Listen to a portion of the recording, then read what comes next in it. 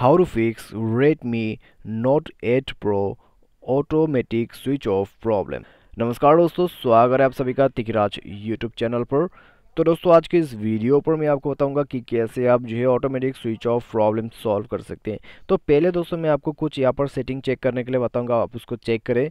यदि सेटिंग से प्रॉब्लम हो रहा है तो दोस्तों, आपका प्रॉब्लम यहाँ पर जो है अभी का अभी फिक्स हो जाएगा, ठीक है? लेकिन अगर सेटिंग की वजह से ये प्रॉब्लम नहीं हो रहा है तो दोस्तों, आपको थोड़ा सा टाइम देके प्रॉब्लम को फिक्स करवाना होगा। तो क्या क्या आपको करना होगा, चलिए पूरा यहाँ पर डिस्कस करते हैं सॉल्यूशन और दोस्तों, आप भी इस वीडियो को पूरा ज़रूर से देखना और अपना जो ऑटोमेटिक स्विच ऑफ़ प्रॉब्लम है उसको फिक्स कर लेना, ठीक है? वीडियो शुरू करने से पहले अगर आपने चैनल को सब्सक्राइब नहीं किया है तो सब्सक्राइब करके बेल आइकन को क्लिक ज़रूर करें। यदि आप ऑनलाइन पैसा कमाना चाहते हैं तो वीडियो डिस्क्रिप्शन पर आपको लिंक मिल जाएगा और किसी भी प्रॉब्लम के रिगार्डिंग पर आप हमें ट्विटर पर फॉलो करके मैसेज कर लीजिए। तो चलिए दोस्तों वीडियो शुरू करते हैं।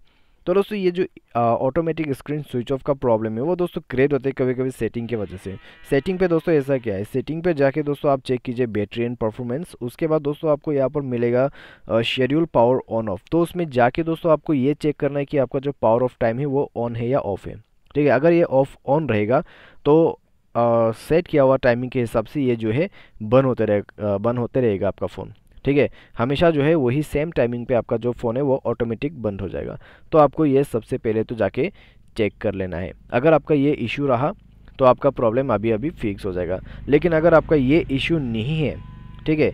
अगर आपका ये इशू नहीं है और प्रॉब्लम जो है कुछ और ही वजह से आ रहा है तो दोस्तों, आपको करना क्या है? आप दोस्तों जाइए सेटिंग पर अबाउट फ़ोन पर जाइए और डिवाइस कैश को क्लियर अप कीजिए। उसके लिए स्टोरेज पर जाना है। फ्री अप स्पेस पर क्लिक करके आपको जितने भी खेश है, उनको क्लीन अप करना होगा। ठीक है? तो खेश पूरा आपका क्लियर रहना चाहिए। चाहे तो दोस्तों आप जाके डीप क्लीन भी कर सकते हैं, कोई दिक्कत नहीं है। ठीक है? और दोस्तों ये करने के बाद खेश को क्लियर करने के बाद मोबाइल पे चेक करें, कितना एप्लीकेशन है। अगर फ़ोन पे ज़्यादा एप्लीकेशन है तो फ़ोन ही ओवर यूज़ होगा। तो अनयूज एप्लीकेशन को अनइंस्टॉल करें। कोई बैड एप्लीकेशन है तो उनको अनइंस्टॉल करें। बैड एप्लीकेशन दोस्तों वो होते हैं जो आप आ, कोई अननोन ब्राउज़र से उठा के ले आते हैं ठीक है? तो उस तरह के एप्लीकेशन आपके फ़ोन को डैमेज करते हैं तो उनको आपको अनइंस्टॉल करना होगा यानी कि डिलीट करना होगा। उसके बाद दोस्तों सब कुछ कर लेने के बाद लास्ट में फ़ोन को एक बार रिस्टार्ट कर देना सेट हो जाएगा आपका phone automatic switch off problem solve हो जाएगा ठीक है? तो ये जो है बस बेसिक सा सॉल्यूशन है आप फॉलो करके देखिए काम हो जाएगा आपका प्रॉब्लम सॉल्व हो जाएगा। लेकिन अगर इससे प्रॉब्लम सॉल्व नहीं हुआ तो फिर क्या करें? ठीक है, और सॉल्यूशन करने के लिए है क्या यहाँ पर? तो यहाँ पर दोस्तों प्रॉब्लम है ऑटोमेटिक स्विच ऑफ़ का। तो हमने दोस्तों यहाँ पर डिवाइस के बारे में थोड़ा बहुत तो जान लिया। अगर आप दोस्तों डिवाइस को ओवर यूज़ करते हाई गेमिंग कर रहे हैं, ठीक है long time long term gaming कर रहे हैं आप तो उसके वजह से भी auto switch off problem create होते हैं। और चार्जिंग करते करते आप अगर आप यूज़ करते हैं फ़ोन को तो भी ओवर यूज़ हो जाते हैं फ़ोन तो भी प्रॉब्लम हो सकते हैं। ठीक है, अगर दोस्तों ऐसी बात है, अगर आप फ़ोन को ज़्यादा से ज़्यादा यूज़ कर, ठीक है तो बहुत ज़्यादा गेमिंग करने की वजह से ऐसा क्रिएट हो रहा है तो अगर आपको ऐसा लगता है तो कैसे इम्प्रूव करें? फ़ोन को दोस्तों सॉफ्टवेयर अपडेट कर दीजिएगा, ठीक है एम आई वर्जन पर जाइए, जाके फ़ोन सॉफ्टवेयर अपडेट कीजिए, फ़ोन सॉफ्टवेयर से दोस्तों लगभग प्रॉब्लम जो है वो फिक्स ही हो जाते हैं, ठीक है, फ़ोन सॉफ्टवेयर अपडेट करें और दोस्तों फ़ोन को थोड़ा सा रेस्ट देना होगा, फ़ोन कैसे रेस्ट देना है, अगर आप ज़्यादा गेमिंग करें तो दोस्तों मान लीजिए दस घंटा गेमिंग आप करते हैं तो दस घंटे से आपको कम तो होना पड़ेगा, ठीक है? कम से कम चार घंटे पे तो आना ही होगा तो बहुत ज़्यादा काम करना होगा और साथ ही साथ दोस्तों आपको करना क्या है? डिवाइस को मेंटेन करना है, ठीक है? जैसे कि अगर आप नाइट टाइम पे ऑन रखते हैं फ़ोन को तो नाइट टाइम पे आप जो है ऑफ़ कर दीजिए, ठीक है?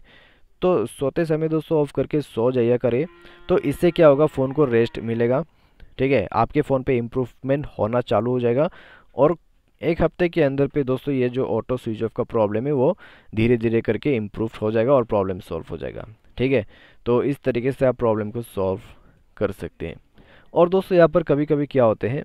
बैटरी के वजह से भी प्रॉब्लम होती है। बैटरी अगर लूज है, ठीक है फिट नहीं है तो कनेक्शन की वजह से भी इशू हो जाते हैं। तो आप एक बार बैटरी कनेक्शन को चेक करिए अच्छे से। अगर रिमूवेबल बैटरी है, बैटरी लूज है तो दोस्तों आप पैकिंग वगैरह देके बैटरी को थोड़ा सा अच्छे से एडजस्ट कीजिए, ताकि आपका जो फ़ोन है वो स्विच ऑफ़ ना हो।